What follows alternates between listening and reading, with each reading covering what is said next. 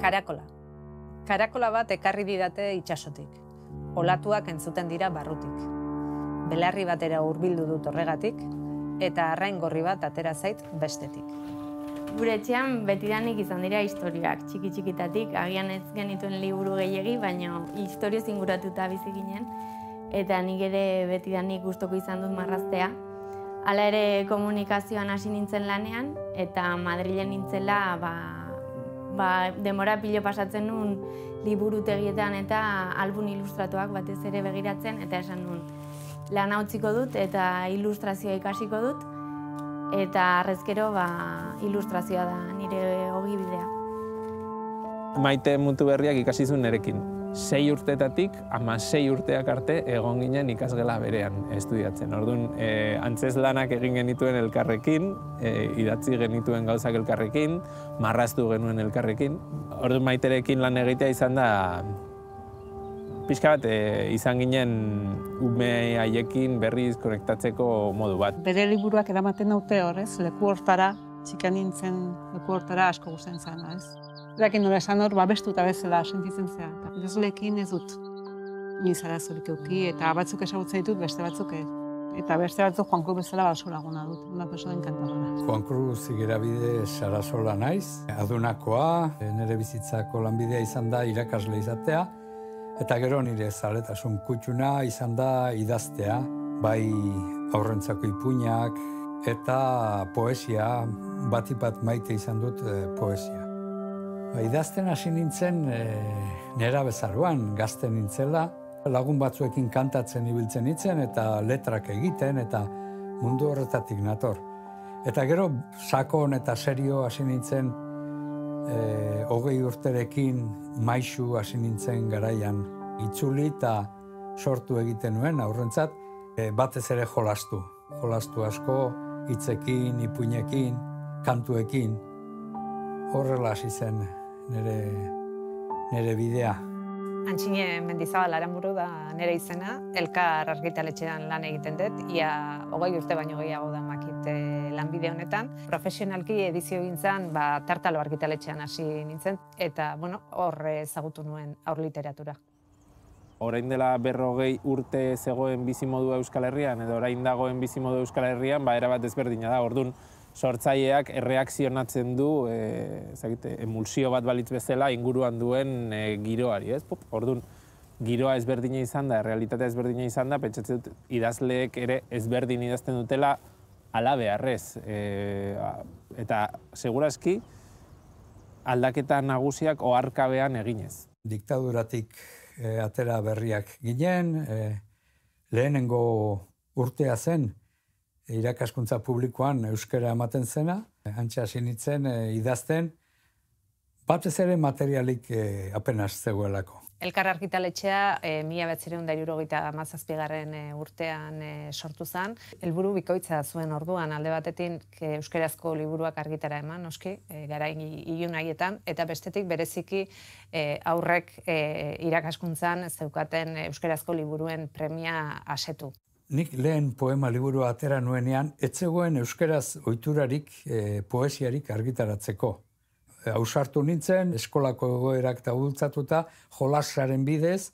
Eskolatan zegoen liburuen beharra asetzeko sortu zala aur literatura, gure kasuan behintzat, testu liburuetan ezagutu dutela poesia, kantatu dutela poesia, jolastu dutela poesia, eta bueno, euskal literaturako lumarik eta eta bururik argienako eta poetikoenak e, ba, beren pausoak ere eta bere urratsak eman dituzte testu liburuetan eta hor utzi dituzte ba, testu mordo bat eta altxor mordo bat. Ba, segon liburu bat gure ikastolan ikasteko ditzen zana. Eta nik gero orain dela gutxi aurketu genuen etxean eta e, marrazki guztiak gogoratzen ditu. Eta beti kopiatzen ditu eta bueno, Orduan, jakin gabe nik uste hori hor gelditzen dela, ez? Eta ez konturatzen. E, guri tokatu zegu sare sozialetan gure buruaren promozioan aritu behar izatea.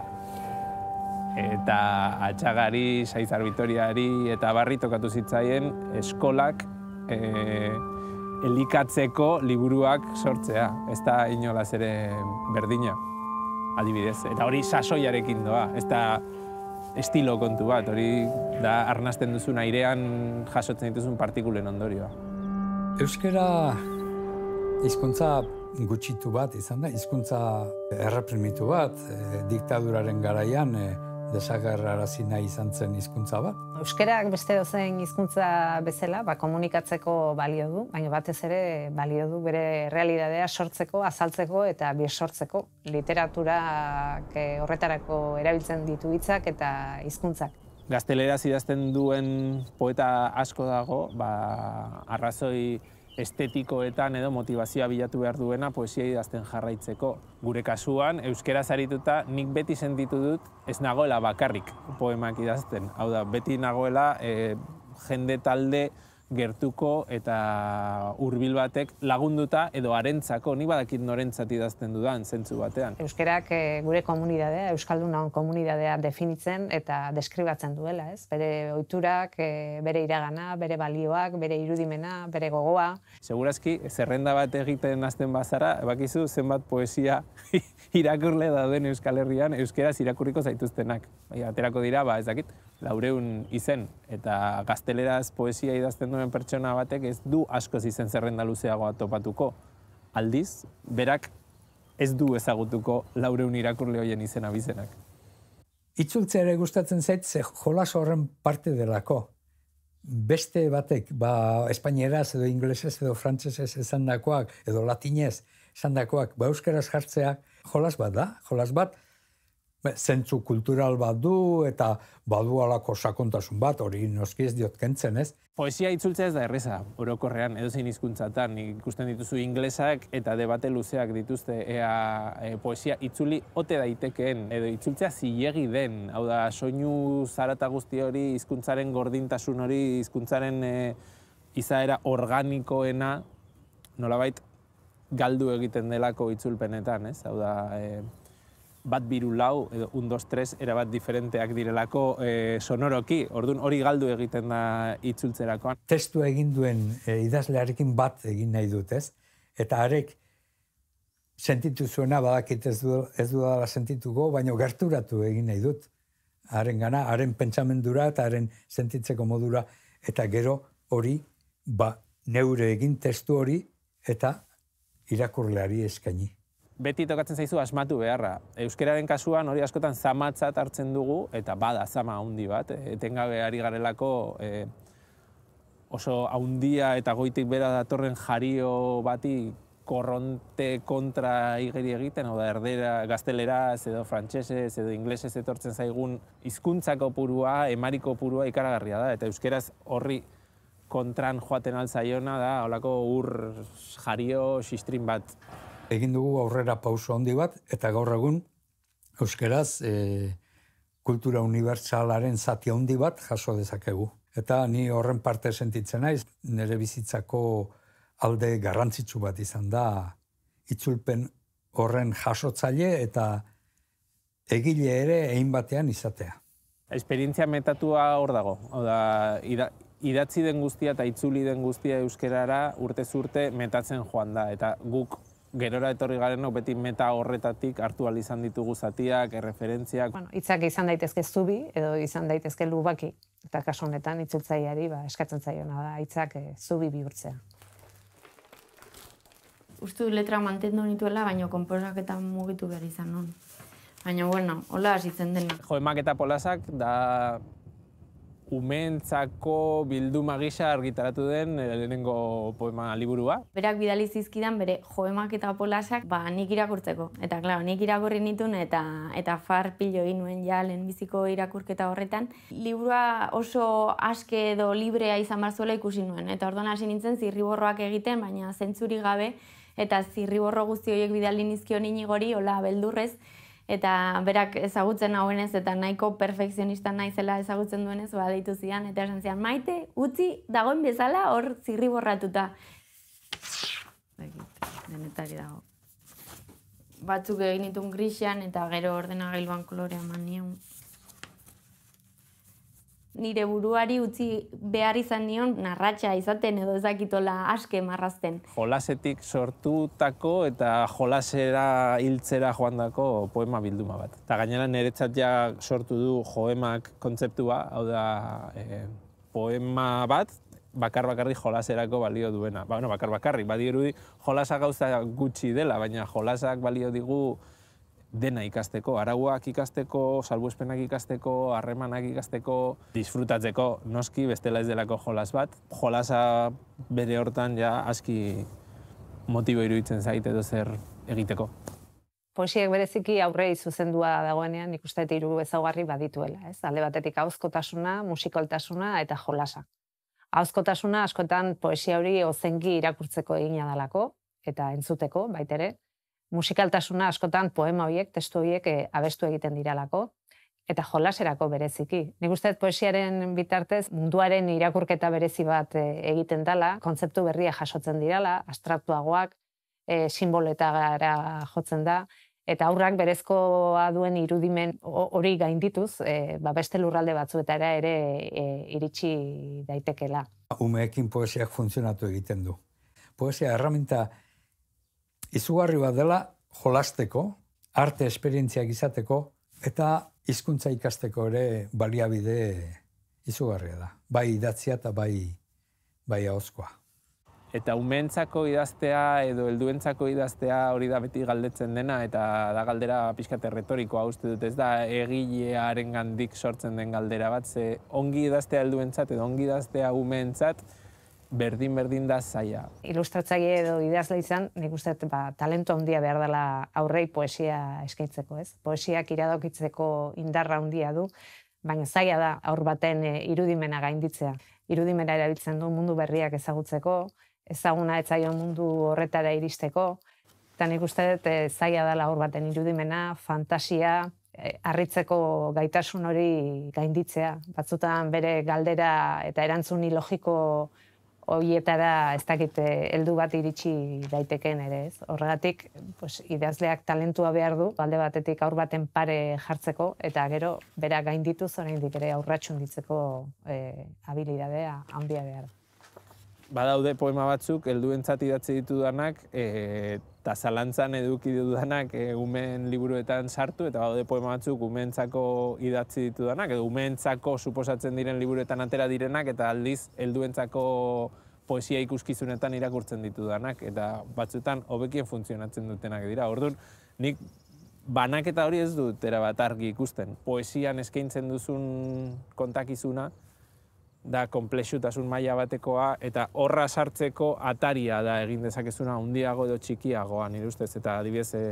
hitz zehatz batzuk eginda badakizu atari hori txikitu egingo duzula eta sarbidea jende askori mugatu egingo diozula eta beste hitz batzuk erabilita sarbidea zabalagoa izango dela eta beraz umeak ere sartu al izango direla. Baina benetan atearen tamaina baino garrantzitsuagoa da atearen atzean dagoena. Eta nik uste egilearen erronka gehiago izaten dela hori, atearen atzean dagoen horri ongi heltzea, atearen tamaina zehaztea baino. Atearen tamaina hau da umeentzat, helduentzat, hori gehiago da ba, editoreen edo merkatuaren kezka bat. No, azteko esan behar da, poesiak berak baduela bere ilustrazioa, ze poesia normalean irudi literarioarekin dator, osea, irudi poetikoa dauka poema batek. Baina, ilustratzaile honak egiten du ilustrazio horri beste zabalpen bat eman, ez? Eta poesia ere marrazkin bitartez egin daiteke, bat ere testuri gabe.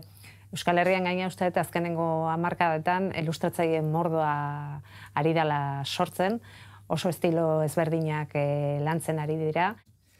Buruan egiten duen irudiari irudia zabaldu egiten du nik horretan esperientzia zoragarriak izan ditute ba, Euskal Herrian dauzkagun ilustratzaile bikainekin, zera Elena Durozolarekin, ja, hau ikerri gustatzen zein ez? Hauek dira urri buruaren marrazkiak eta sekuentzia dira historia bat kontatzen dute. Bizkor, bizkor pasatu ezkero, zeak bihurtzen dira, em, estenak edo, la ez? Gabain beste bat azten da, hemen. Historia guztietan, gutxi gora bera hori gertatzen da, ez? E, zirkura garnia. Ura baden da protagonista eta leku guztietan dago ez agertzen. Ez agertzen, baina leku, leku guztietan ikusten da, ez? Euria dago, hemen baputzu bat, hemen urartzen du txanoarekin, hemen koro bat kantatzen eta, bueno, euriera egiten dute. Hemen berriz daude euriak, ez? Eta zu jartzen duzu hemen. Ba, euriak nahi dituzun euriak, ez?